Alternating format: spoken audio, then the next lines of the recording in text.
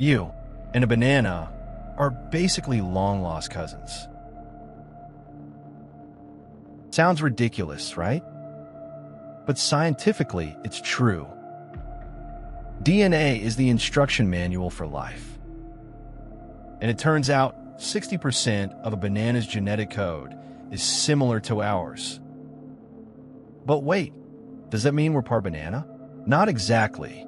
See, all life on Earth evolved from a common ancestor. That means we share basic survival genes with plants, animals, and even with bacteria. The genes we share with bananas control things like cell growth, respiration, and DNA repair, fundamental processes that all living things need. Still not convinced?